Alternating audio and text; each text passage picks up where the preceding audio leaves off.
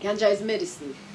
Ganja is medicine first for me, especially because I grew up with many diseases like asthma and bronchial conditions and so on. And I remember, and my father would tell me like, no, when I'm older, that you know, my grandmother used to set ganja in buckle and thing, like, so I had been introduced. It was in my bloodstream from really early, but um.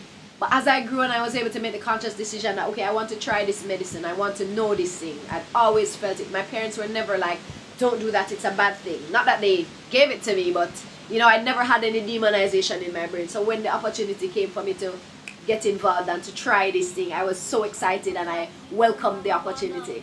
And I, I used to smoke it. I used to find a great meditation in crushing it and rolling my spliff and feeling like, oh, I built a nice one. lead the way with Rastafari save the day cause him supply them with the marijuana.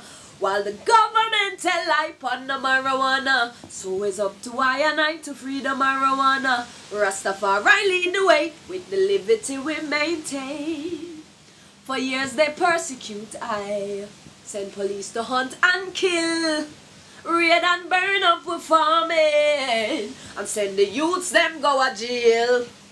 No hypocrisy presenting itself as good business practice. When I went to university and, and I met up with some of my now mentors Like Professor Kalamawe Knife He introduced me to a different way of using herb Which is with the steam chalice. And when I discovered that instrument, there was just no turning back. And it was beautiful because on the campus you have calabash tree, you have the thin bamboo, you have the thick bamboo, you had everything you needed. You had clay and you had makers of clay. So you had everything you needed to build your steamers there. So I built several steamers during my time at the university. And I would sit by the fire and really do a lot of contemplation and there was a lot of reasoning and a lot of spiritual and mental awakening, holy for shedding of things because herb is herb facilitates that kind of shedding, you know, and it uh, and I realized that I wasn't getting those particular illnesses anymore, and I knew it was related to my use of the herb, and so I just continued, and then I stopped using, I stopped burning it altogether, and I was just exclusively steaming, and I have been doing so for the past close to 15 years now. yeah. You see, burning herb, I mean, if you're going to smoke something, marijuana is the safest thing to smoke because the positive benefits of herb outweigh the negative things that would happen from you know the, the process of burning and all of what would come from it. It is repairing while it is doing any potential damage.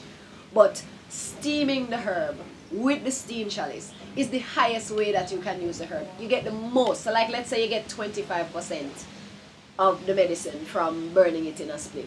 You don't get access to the amount you get with steamers. You get probably upward of 75% depending on how airtight and properly you build your steamers.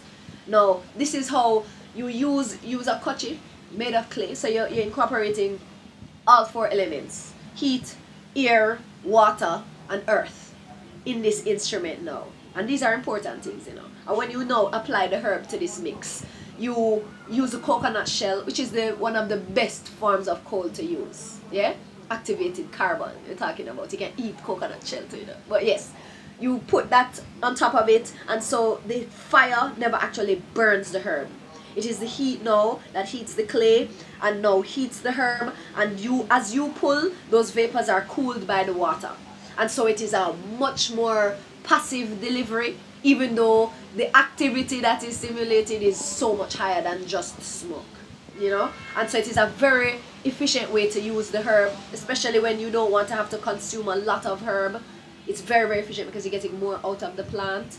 And um, and yeah it is an ancient way like every indigenous culture has some mechanism whereby they use the four elements to extract medicine from their herbs. And with the steamers you can add other fresh herbs to it. So you can pick your rosemary your peppermint your citrus, thyme, even garlic, you know, and put a little piece of it, roll it up in your herb and drop it in your kochi and get the benefits of all of these herbs with that. You can even steam other things other than marijuana in it. So you can just put rosemary and garlic alone in there and steam it if that is what you need to use to activate, you know.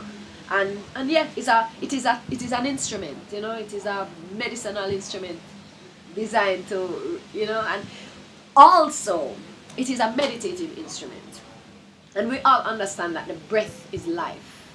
Yeah, we know the creatures in, in aeration that live the longest are those who take the longest breaths. So that is what it encourages also because you increase your lung capacity because you have to be able to breathe deeply in order to keep the fire burning. So learning how to breathe from the depths of your diaphragm, you know, filling up your lungs, holding it. This is this is these are benefits you get from using a steam chalice. So yeah, it's something that everybody must use. Everybody must use it. Yeah. To get their medicine. I don't have any views on this legalization, you know. I'm just watching this thing. I'm just really happy right now that they are no longer persecuting the youths and giving them a police criminal record for possession of marijuana. And I'm also glad that no nobody can trouble with my steamers. I've lost a few steamers to the police over the years.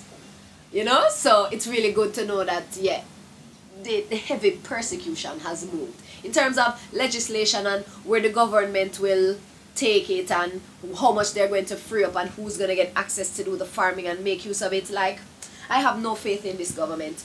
And nothing personal, I have no faith in any government. I believe in self-government. I believe in self-reliance. And so, I am not looking for any assistance. In this herb thing, yeah, you have now the opportunity to grow up to what, five or six plants in your home? Everybody needs to do that. Everybody needs to cultivate a relationship with, with this herb, with all herbs, with food. Yeah, because you can't believe in a supermarket and these things either. Because when when them stop importing and when some drama reach with some other country or whatever, you are going to need to make sure that you can still eat. So we need to be teaching the youths about agriculture from early, cultivating a relationship with the penny them, know so them for go to door, go pick things, pick your callaloo, understand the difference, know what you can eat and what you mustn't eat, what herbs are good for what. That is where information and knowledge need to take us, yeah? So the discussion is not about legalization, the discussion is about education.